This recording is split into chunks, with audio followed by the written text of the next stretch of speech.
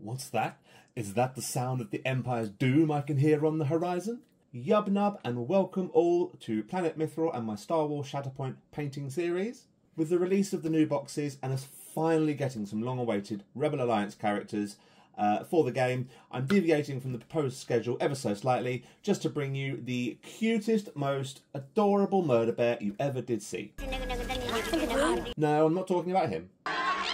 Super cute, but also not talking about him. Yes, that's right, the Herald of Doom for the Empire, Wicket W. Warrick, the very first Ewok we ever meet in the original trilogy. Before we get started, I just want to say a massive thank you to my dear friend Oz at Rampage Games, who got my pre-order and my toys out to me super quick and as soon as he could for me to start bringing you this delicious, juicy, delectable Star Wars Shatterpoint content. So this is our wonderful little ball of fuzz that we're going to be painting today, as you can see, I'm going to be using a lot of different browns and pastels to bring out the tones of his fur, which complement well with the bright, vibrant oranges used for his hood, all tied together with the spot colours of green and orange that run throughout the palette. I'm going to be working up my wicket from a grey undercoat and will be primarily using the scale colour range of paints. A conversion chart for other ranges will be made available soon. Well, enough jabbering on from me guys, brush is ready and let's get painting.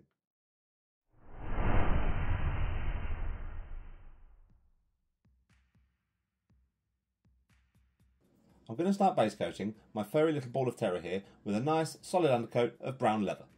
This is lovely and rich and will give a really good tone for me to work off later in the process.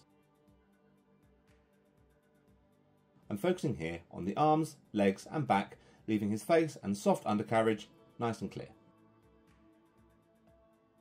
For a soft fluffy belly and face, I want a lighter tone which will complement the richness of the fur I've already put in place. For this, I'm going to be using walnut as my base paint, and just apply this in a few thin down layers over the remaining parts of the body.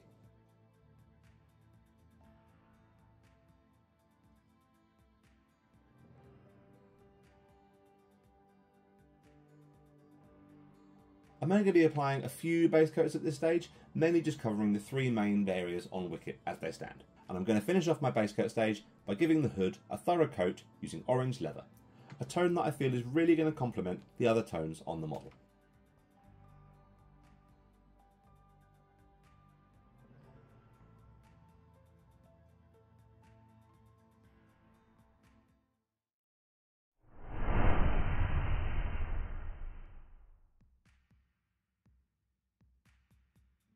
It's super important with models that have this much fur on them that you get as much definition and texture over that fur and the main body as you possibly can. I'm going to shortcut my process here by applying a shade to the brown areas of fur with some very heavily diluted Arbuckle's brown. I'm going to be working it into as many of these recesses and the inner texture of the fur as I can here. Now my shade has thoroughly dried, you can see how the texture of the fur has started to become more defined. Now begins the slightly more arduous task of reinforcing that texture. I'm now going to be using Bosch Chestnut and very carefully going around the darker brown fur, picking out the larger strands of fur. You can absolutely apply this as a dry brush if you if you want to. Uh, the benefits of doing it this way, however, is that you have a lot more control and the fur looks a lot more realistic when you're finished. The benefits of dry brushing, you're, you're done in a fraction of the time. Okay, so now I'm happy with how Wicket's fur is coming along. My initial post shade layer is in place, now it's time to raise the tone slightly. To do this, I'll be using Arabic Shadow and pretty much going over the fur again, using the Bosch Chestnut layer as a guideline. I'm keeping a much finer point to my brush here to try and be as precise as I possibly can be.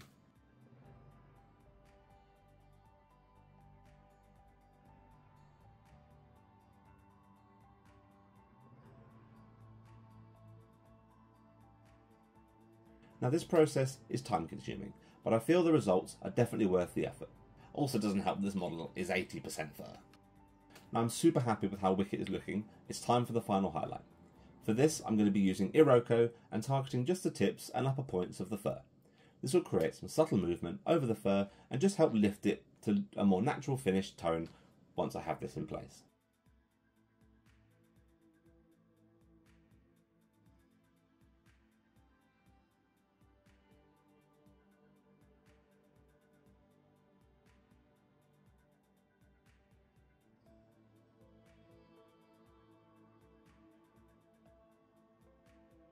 That's the main body of Wicket's fur now done. It's time to focus on the other part. To start with, as I did with the other fur, The face and belly were given an all over shade with some heavily diluted petroleum grey, again pushing this into the recesses to define these areas of fur.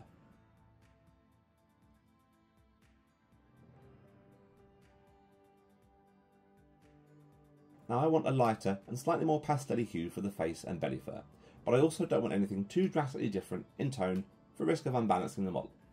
Following the same mentality as I did for the previous fur, I went over the face and belly with a 1 to 1 ratio mix of walnut and Thar brown. The facial fuzz in particular is very well defined. Some areas of the belly are less so, so I'm having to paint in my own texture over some of these areas.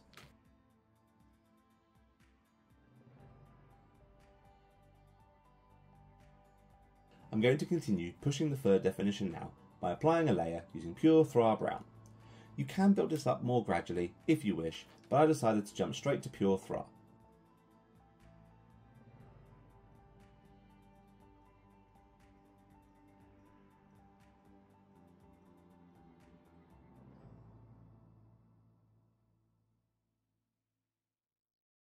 Now I would discourage dry brushing at all over these areas of fur, as you're likely to clip over the darker brown and cause blemishes over the hard work you've already finished, and no one really wants that, do they? I'm finishing off the lighter fur now with a 1 to 1 ratio mix of Thar Brown and Birch. Working my way up through more of these natural and desaturated browns really helps capture the character of Wicket, and complements well with the darker, richer tones we've already put in place.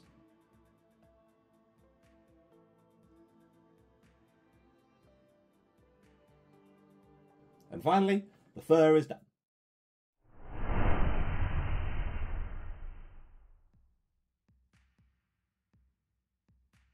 Right, now the fur is finally done, I can move on to something slightly less eye straining. I'm going to be tackling Wicket's hood with some really vibrant burnt oranges now to provide a bit of a spot colour against all these browns. To begin with, I applied a manual shade to the recesses of the hood using Bosch Chestnut. This is dark enough to shade the recesses but not too intense that I lose realism over the material, so it's a perfect choice.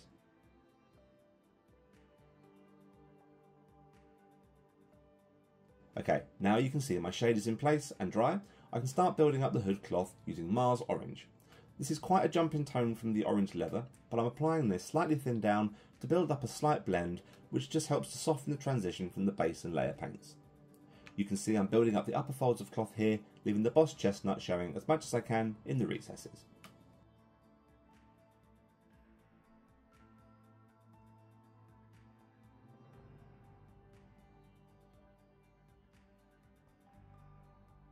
Wicket's hood is really starting to come along now. You can see the natural flow and fall of material is really beginning to take shape.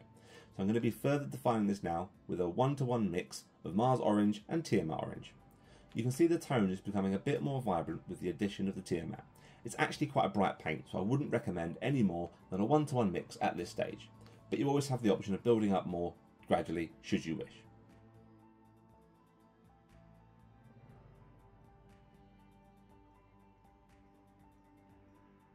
For the highlight stage, I want to deviate ever so slightly from the tone and vibrancy of the Tiamat. Any more of that in this mix and Wicket will look like he's going to a rave rather than going to fight the Empire. For the final highlight stages, I decided to add in a small amount of Mojave White into the previous mix. This will do two things, desaturate the vibrancy of the Tiamat somewhat and give me a really natural, yet still bright, almost sun-bleached look to the upper folds material.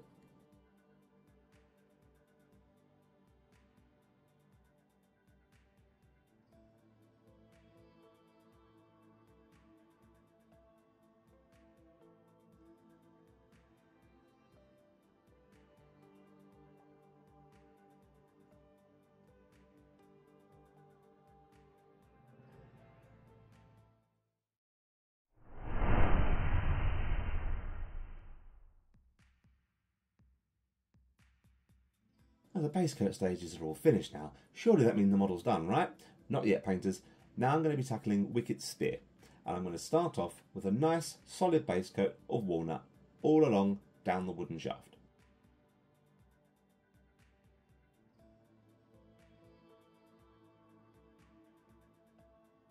Using Thar Brown now, I'm going to inlay some quick and effective wood grain texture into the spear shaft. By keeping the tip of my brush nice and fine, I'm going to draw the Thar down the length of the shaft in thin, disjointed lines. You want the tip of your brush barely touching the wood, this will create some natural gaps within the freehand and reinforce the texture of the wood grain. At this stage as well, the strappings that sit towards the top of the spear were given a quick base coat, also using Thar Brown.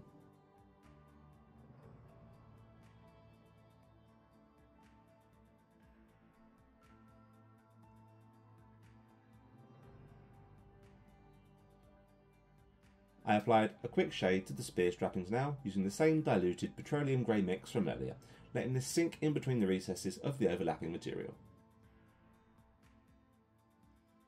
Once this was dry, I applied a layer to the edges of the spear strappings, again using Thar Brown.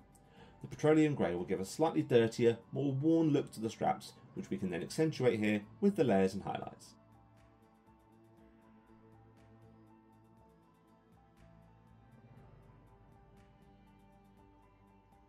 I then applied a quick fine edge highlight to the edges of the straps, keeping my application tighter and thinner to try and show where the light is bouncing off the almost sharper edges of all the material.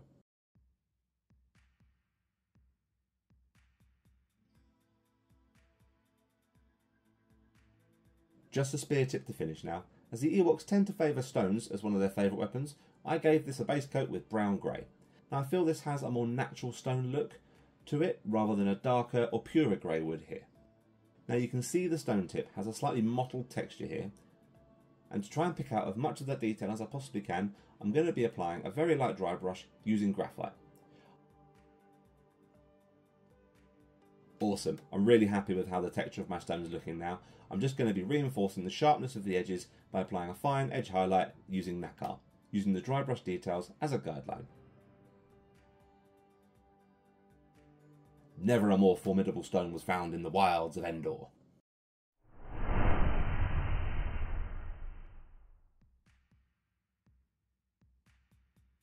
Wicket's coming along really nicely now. All that's left are a few extra details just to tie the model together. The next stage was to carefully pick out his hands and feet using pink flesh, making sure I get all around the soles of his feet and gaps between the fingers. Well, both of them. It definitely feels very weird to be painting flesh tones on a cuddly murder bear like this.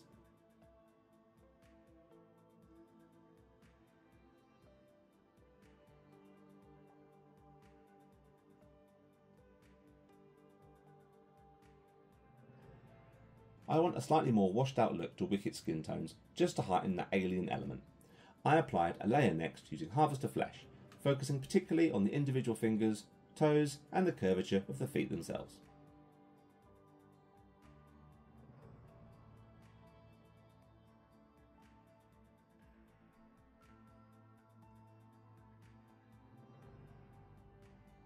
Tips of the fingers and toes, along with the stress points that define the knuckles, were then carefully given a quick highlight with a one-to-one mix of Harvester Flesh and Moonray Flesh.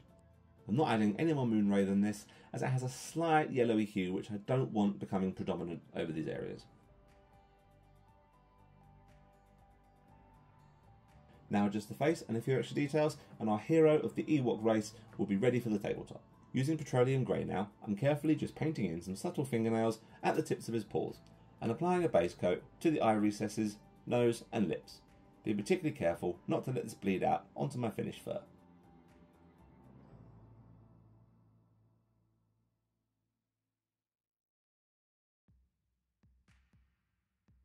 Now you're going to see how so much character can be achieved and finalised with the tiniest addition of paint. The eyes were given a pinpoint dot highlight in the upper and lower parts of the pupil using graphite. The nose and lips were given a quick targeted highlight here too. It's amazing what finishing the eyes can really do for a model, isn't it?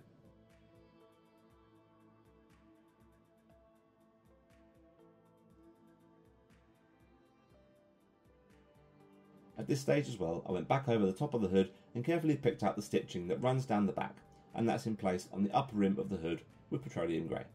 You can give this a further highlight with graphite after, if you feel it's necessary.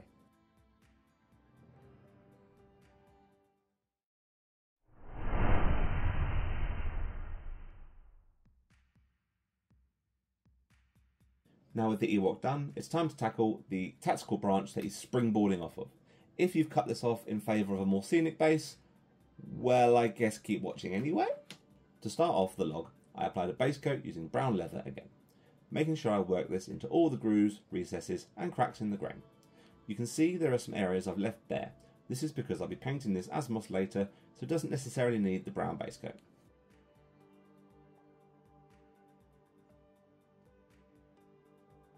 I'm going to now apply an all over thorough shade with diluted Arbuckle's Brown. I have mixed this with a small amount of petroleum grey as well, just to give the wood a bit more of an aged, cracked look once this dries. Now my shade is thoroughly dry, I'm going to be pushing the tone of the upper layers now by using Gobi Brown. Now I'm looking to lightly feather this in place following the same sort of mentality that I did for the spear shaft earlier on. This doesn't need to be neat or precise, so don't fret too much.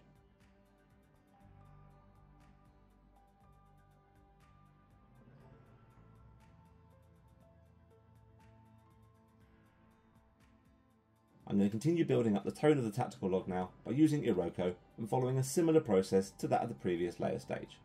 Although here I am trying to be more precise in my application to create a nice flow from the darker recesses through to the lighter areas of wood grain.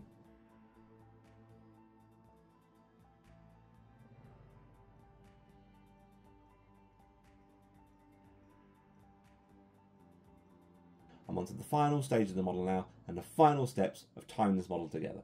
With my log complete, I went back over and carefully picked out any leaves, vines, and the big moss patches I left earlier using black forest green.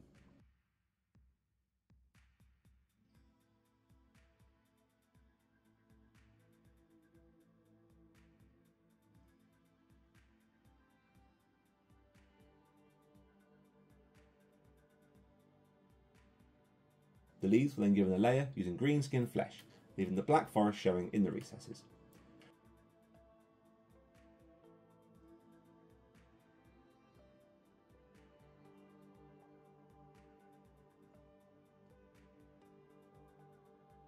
This was also applied to the moss, but this time with a dry brush, bleeding this out slightly onto the finished bark so to give it a slight mossy, mouldy green tinge.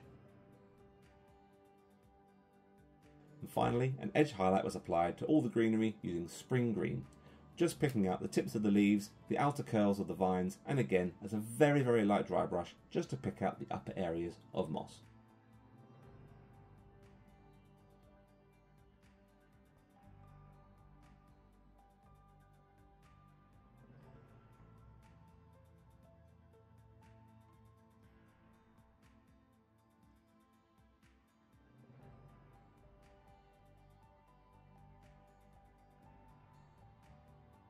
There you have it. The cutest, cuddliest, not at all vicious bane of the Empire, Wicket W. Warrick, finished and ready to hit the wilds and forest of the gaming board, spear in hand and a host of crazy furballs at his back.